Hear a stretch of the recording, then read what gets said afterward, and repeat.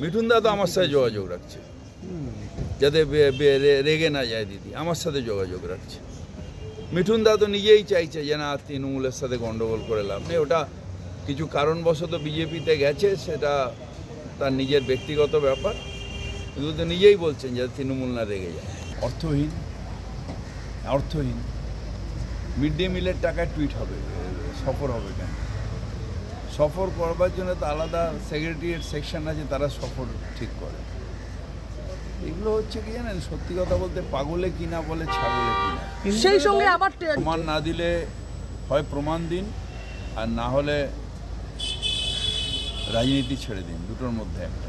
কেন্দ্রীয় বেকারের বাজার গরম করা তো বললাম যে কেন্দ্রীয় সরকারের কে ভুল পথে পরিচালনা করে যাদের পায়ের তলায় মাটি নেই যারা ইলেকশন জিততে পারে না কেন্দ্রীয় সরকার যেহেতু এখন পলিটিক্যালাইজড হয়ে গেছে পার্টি চালাচ্ছে সরকারকে, তাই এখানকার রিপোর্ট অনুযায়ী, ভুলভাল রিপোর্ট অনুযায়ী ওনারা এটা স্টেপ নিচ্ছেন। এটা ঠিক হচ্ছে না।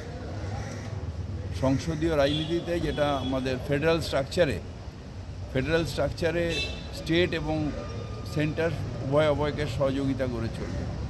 ফেডারেল স্ট্রাকচারে আপনি দল অন্য অন্য করতে পারেন, কিন্তু মানুষ তাকে সার্ভিস দেওয়া ভারতবর্ষের মানুষের এটা সেন্ট্রাল গভর্নমেন্টের দায়িত্ব।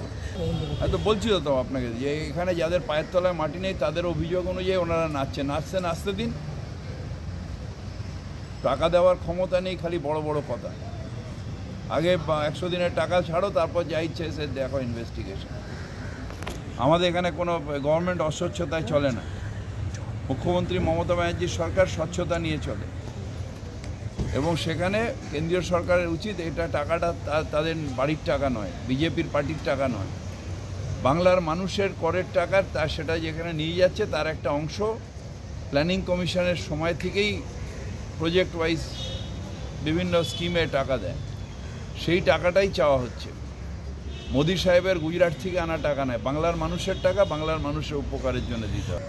তার কারণ আট থেকে দশ বছর তো ফান্ড দিচ্ছে না। কাজগুলোকে ইচ্ছে করে স্লো করছে, বাংলার মানুষকে টাইট দেওয়ার জন্য। যেরকম একশো দিনের টাকা দিচ্ছে না বাংলার মানুষকে টাইট দেওয়ার জন্য। মুখ্যমন্ত্রীকে টাইট দিতে পারবে না। মানুষকে, গরিব মানুষকে টাইট দেওয়ার চেষ্টা করছে।